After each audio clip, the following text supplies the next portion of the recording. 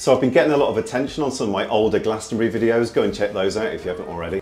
And I think it's about this One Direction reunion. There's something I've got to tell you. It's not happening. Every single band on this poster either just isn't playing, or it's just completely made up. I mean, Monophonics and Jockstrap. And the biggest clue is that the one act we know that is playing, Elton John, isn't even bloody on it.